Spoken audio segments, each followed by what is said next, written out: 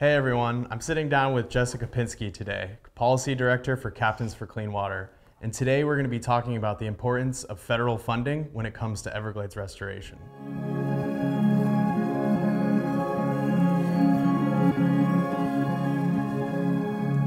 So it may, may seem pretty obvious, you know, anything restoration, anything in the world really needs money to help it advance. Um, and in the world of Everglades restoration, why is funding such a critical piece in moving all these projects forward? I think if we start by explaining uh, that Everglades restoration is governed by a plan uh, known as CERP. Uh, CERP stands for Comprehensive Everglades Restoration Plan. Um, CERP was enacted in 2000 uh, by Congress. It is the plan that governs, governs Everglades restoration. It's a suite of 68 projects, um, infrastructure projects that combine and work together to, to move water south in, in the way that uh, the flow path of the Everglades used to be. Um, it, it kind of mimics that uh, historical flow path and, and moving water south to uh, the Everglades and Florida Bay. Um, CERP is a 50-50 cost share between the federal government and the state government. So every year through the annual appropriations cycle, the state and federal government um, both allocate funds towards Re Everglades restoration to, to build and uh, advance these projects. And uh, I'll give you an example. Um, currently, um, the, the EAA Reservoir, which is known as the Everglades Agricultural Area Reservoir Project. Um, huge project, provides tremendous benefits to, to both coast of Florida as well as, as the Everglades. Um, that project, uh, the federal government is building the actual reservoir. The state government is building the STA, the storage and treatment area. And so that's an example uh, of how the state and federal government work together to advance Everglades restoration. So it's clear we need both funding from both the federal side and the state side. So why right now are we making this federal funding push? Uh, well, you know, right now we need 725 million to keep pace with that project schedule that CERP lays out called you know, the integrated delivery schedule. Um, that's our ask, that's what we need. You know, I'd, I'd like to highlight also that, you know, there was a study uh, that the uh, Everglades Foundation commissioned that showed for every, you know, $1 that we invest in Everglades restoration, we get, you know, $4 back to the economy. That's, a, you know, that's quite a return on investment.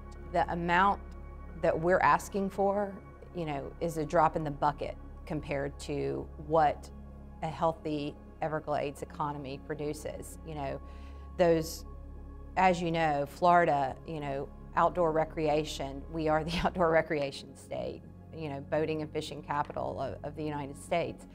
And a healthy, restored Everglades just generates more tourism, um, you know, outdoor recreation dollars for our economy we're experiencing incredible momentum in the past few years um, since uh, that EAA reservoir project that we spoke of, which uh, we like to refer to it as the heart of Everglades restoration.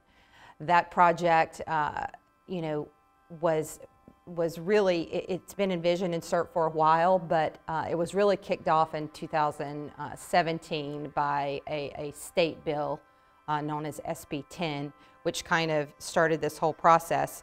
But getting that reservoir completed uh, and, and implemented, which is in, critically important to both coasts of Florida, like I said, and, and moving water south, um, that requires that 50-50 partnership between the state and federal government and keeping that funding at a consistent level so we can advance these projects is critical. That's why we have a dedicated amount that we're asking for from the feds, a dedicated amount that we're asking for from the state.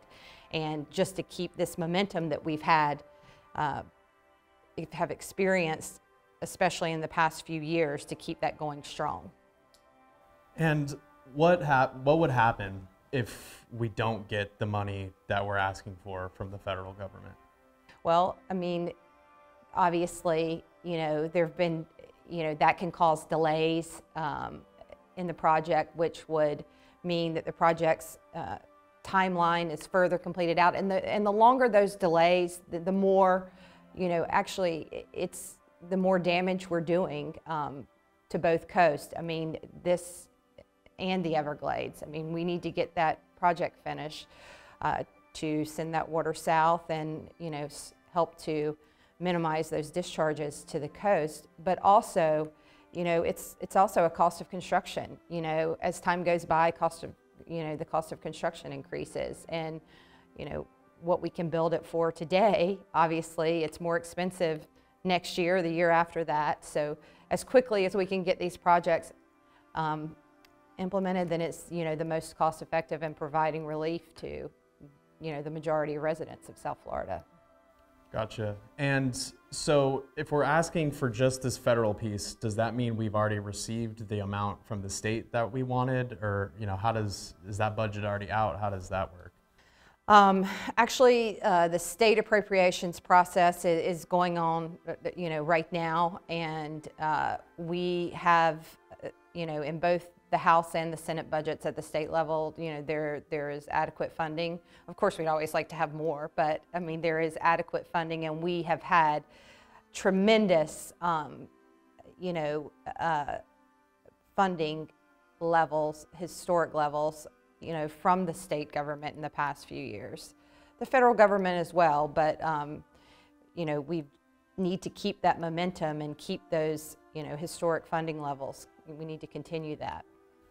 So we've talked about how you know you need both both sides of funding, the federal side of funding and the state funding, to really make these projects come to life.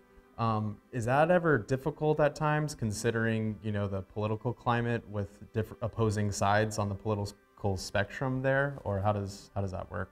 Good question.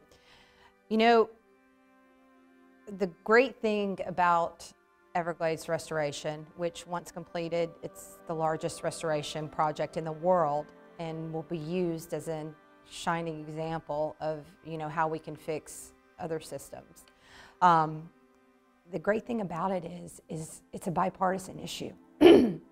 We've had support from every member of Florida's congressional delegation. Um, as you know, you know, no matter different, uh, you know, different party uh, ruling parties in the state level and uh, at the federal level, it doesn't matter. This is an issue that everyone can unite behind.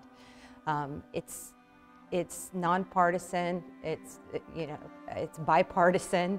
Um, it, it's something that it's a win-win for everyone. So then, how does how does Captains for Clean Water fit into this this funding piece? Uh, yeah, let's talk about Captains for Clean Water for a second because I think uh, what Captains has done in this Everglades movement is that they've been able to unite all these brands, all these tourism related businesses, recreational anglers, you know, fishing guides, boat captains, everyone, coastal residents, residents, interior residents, residents from all over the state, people that come and recreate in the state of Florida. Um, everyone, they've united them and they're moving them. You know, they have created that groundswell that's moving them. We recently, in this, you know, latest appropriation cycle, most recently, we did a uh, outdoor industry sign-on letter. We had over 25 brands, well-known household brands participate in this letter. I mean, that's tremendous engagement from these brands who were unified, you know, and sent a, this letter to Congress asking them to appropriate $725 million because it's everyone realizes that this restoring the Everglades creates, you know, it, it affects everyone. Uh, the economic impact, the ecological impact, environmental impact, it, it affects everyone in some way. Um, you know, whether you, you know, your property values, real estate, tourism, everyone is affected. you know, what's interesting and what it's interesting and it's great too is that a lot of these brands are direct competitors with each other, but they can unify and unite on this issue. Um, this, like we spoke about at the, you know, how it is a bipartisan issue, you know, we also have these competitors, you know, in, in, in the outdoor industry coming together and uniting, you know, to push forward on Everglades restoration and advance because everyone understands what a tremendous impact this has on our economy and our way of life. Also, um, right now, in addition to that outdoor industry sign-on letter, we also are giving all of our Captains for Clean Water members and supporters a way to sign on so that they can show their help individually. Um, we have a petition. You can find that petition at www.captainsforcleanwater.org. Um, sign the petition in support of uh, congressional funding for Everglades restoration. That is very important. It can show how you may not think that your voice matters, but your voice combined with many others, it does matter. And Captains is a tried and true case study. We can point to previous success that we've had. Your voice does matter. You know, your voice combined with you know, all of those other voices, it creates the groundswell that moves this issue forward.